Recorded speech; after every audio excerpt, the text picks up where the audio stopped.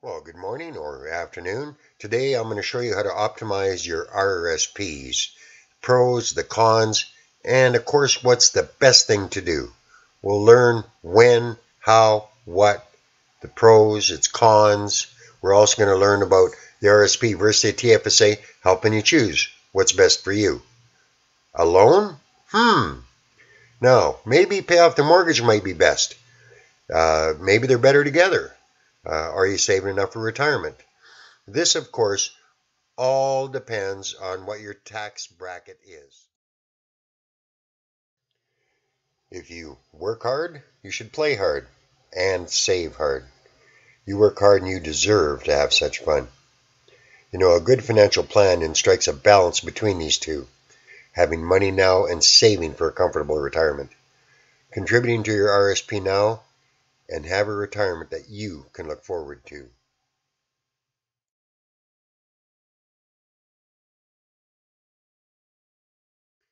Have you ever wondered if it made more sense to pay off your mortgage or to invest in a registered retirement savings plan? You know, paying off your mortgage quickly makes sense, uh, but you also need a significant nest egg to retire with comfort. We've got three options A, B, C. A. Pay, let's pay off the mortgage then contribute to the RSP. Well, your advantage is you get additional mortgage payments that go directly to the principal. This will save you interest and reduce the term of your mortgage. Now, the disadvantage is you'll miss out on the benefits of long-term compounding growth and the immediate tax refund. Option B, let's make regular mortgage payments and RSP deposits. The advantage? Well, you take advantage of the long-term compounding growth and the immediate tax refund. The disadvantage, by paying your mortgage off slowly, you're going to pay more interest. Depending on your amortization period, you might be at the risk of carrying mortgage debt into retirement.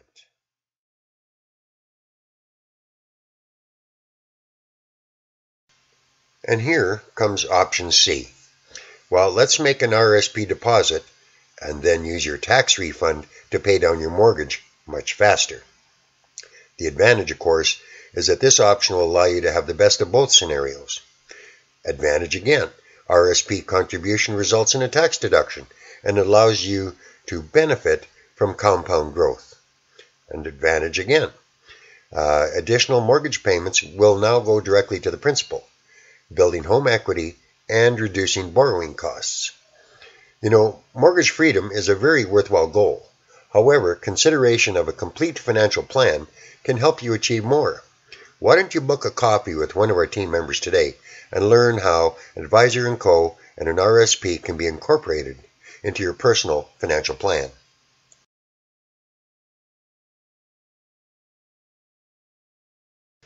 Here's another option. Have you ever considered borrowing money in order to increase your contribution? You know, unlike credit card debt, RRSP debt is considered good debt. Investment loans and mortgages fall into the good debt category because they help increase your net worth. If you take out an RRSP loan, you can invest right away and take advantage of long-term compounding growth. As well, you get the immediate tax refund. The tax refund that you receive from your contribution is much more than the interest that you're going to pay on the loan.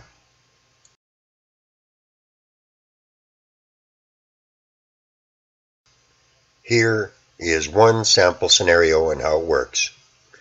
Let's say John is 40 years old and he has an income of 55,000. He takes out an RSP loan that's going to be paid off in one year. The loan amount, $10,000. Income tax reduction, at 31%, he receives a tax deduction or reduction of $3,115. His cost of the investment was $6,885. He's got a monthly payment of $586.26. Now that assumes a 4% interest rate and that the tax refund was immediately applied to the loan. At this 4% interest rate, John would have paid approximately $150 of interest on the loan for a total cost of approximately $7,035, which is the $68.85 plus the 150. But he invests 10,000 into his RRSP. So let's fast forward 25 years to age 65. assuming an average annual return of 11%, the $10,000 that cost him 7,035 is now worth $135,854.64. Or you could optimize your RRSP loans. Now we're going to base this on your current contribution rate of 700 per month. The current amount of RSP deposit is $8,400 a year with a current tax rate of 35%. So your current annual contributions, 8,400. A new RRSP loan, $4,523.08.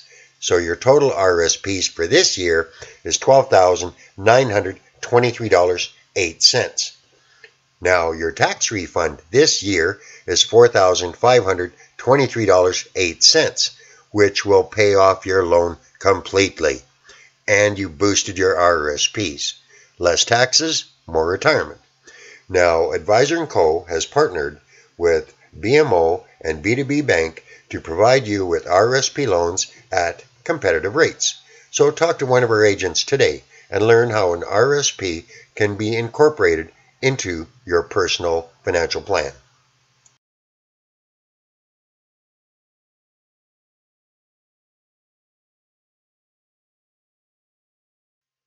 So, to help you choose, uh, for years, Canadians have used the RRSP, actually since 1957, as their primary investment vehicle for savings. Now, when the tax free savings account came out in 2009, there was a great debate of where to invest RSP or TFSA. There are some key differences.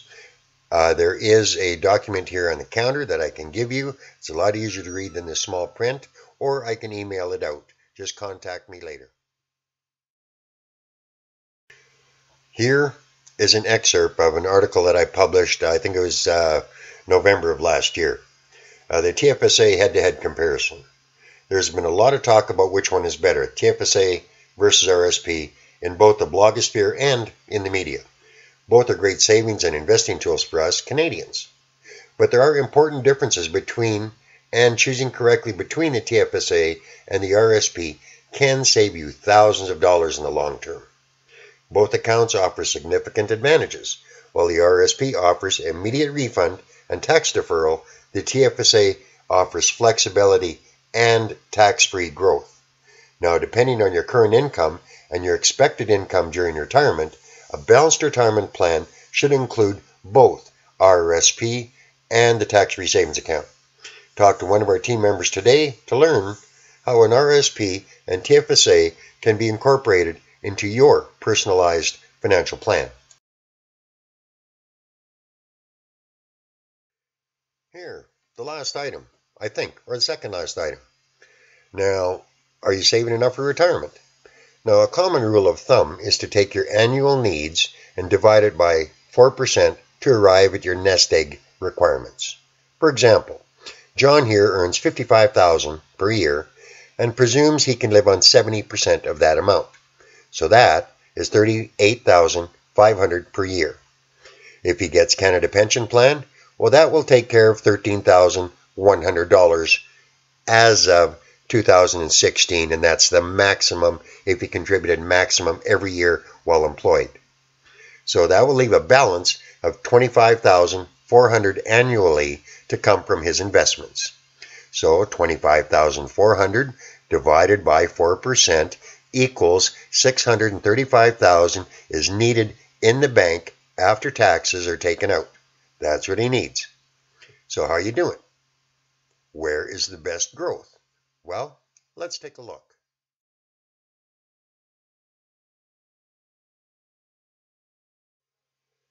Just because they have not been told, most people are still using a bank.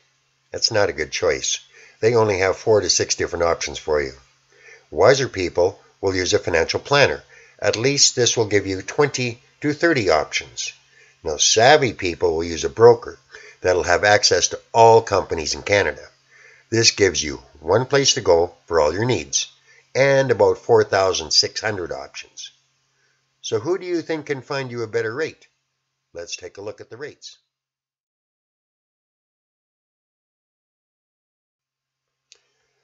So, most people, as I said, are still using a bank and they have four to six options.